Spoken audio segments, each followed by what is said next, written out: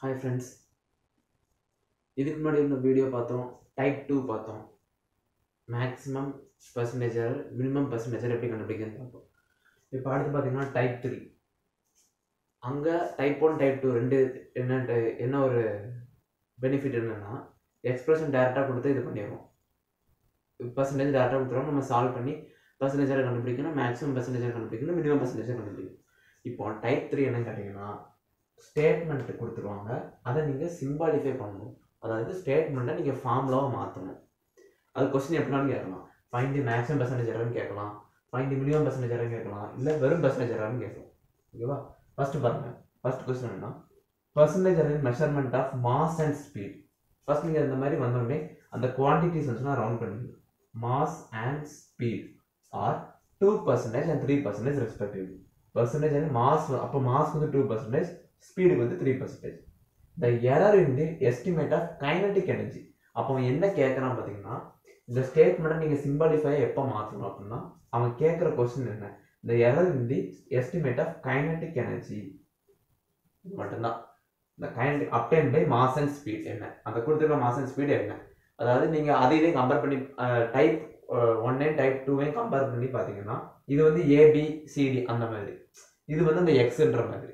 ஓகேவா அப்போ நீ வந்து மொத்த எக்ஸ்பிரஷன் அப்போ இந்த கைனடிக் எனர்ஜி தான் என்னது? மொத்த எக்ஸ்பிரஷன் அப்போ கைனடிக் எனர்ஜி எக்ஸ்பிரஷன் என்னன்னா இந்த மாதிரி ஒரு சில எக்ஸ்பிரஷன்ஸ் வந்து நீங்கள் எதில் படிக்கணும் அப்படின்னா டைமென்ஷன் ஃபார்முலா மொத்த ஃபார்முலா வரும். அந்த நூறு ஃபார்முலா சொன்னோம்ல நூறு யூனிட் அதுலேயே மொத்தமாக வந்துடும் ஸோ நீங்கள் அதை படித்தா மட்டும்தான் இந்த மாதிரி கைனடிக் எனர்ஜி டேரெக்டாக நான் அப்ளை பண்ணி இது பண்ண முடியும். இது நமக்கு தெரியும் இந்த கைனடிக் கரன்சி இதுக்கு என்ன ஃபார்ம் அப்படின்னு நமக்கு தெரியல ஒன்றுமே பண்ண முடியாது. அப்போ இந்த இந்த இந்த கொஸ்டின் நம்ம அட்டன் பண்ணக்கூடாது. ஏன்னா நெகட்டிவ்ல போயிடும். ஸோ இது மாதிரி ஈஸியாக வர கொஸ்டின் எல்லாமே நீங்கள் அப்போ டைமென்ஷன் பண்ணி தெளிவாக படிச்சா மட்டும்தான் ஈஸியாக அட்டன் பண்ண முடியும்.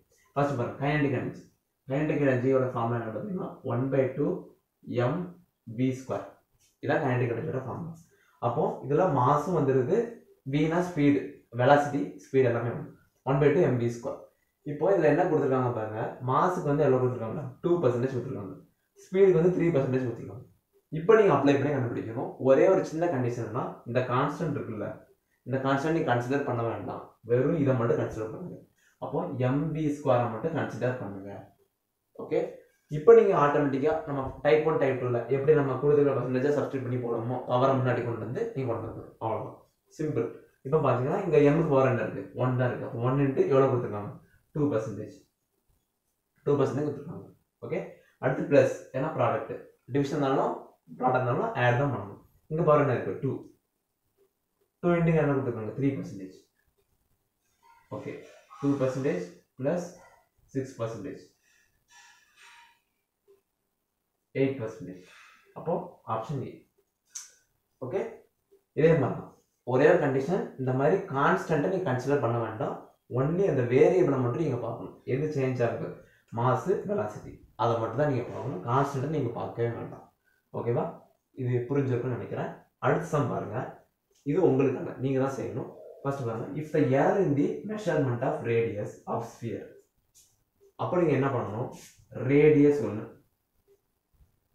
அதுக்கப்புறம் அதில் மென்ஷன் பண்ணிக்கிற ஒரு டய ஒரு டயக்ராம் பேர் என்னன்னா ஸ்பியர் அப்படின்னு சொல்லி ஒரு ஷேப் பேர் சொல்லியிருக்காங்க.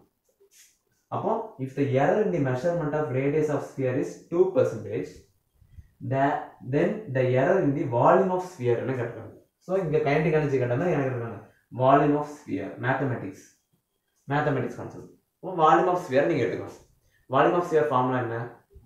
Four by three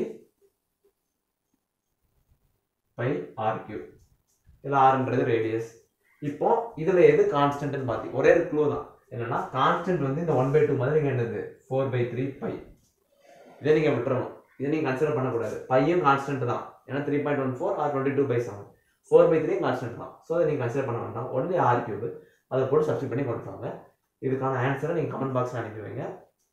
ஸோ இது வந்து ஒன்லி பர்சன்டேஜ் கேட்டிருக்காங்கன்னா இந்த மாதிரி. இதில் மேக்ஸிமம் பர்சன்டேஜ் மினிமம் பர்சன்டேஜ் வரைக்கும் கேட்கலாம். அது அடுத்த வீடியோவில் வரும்.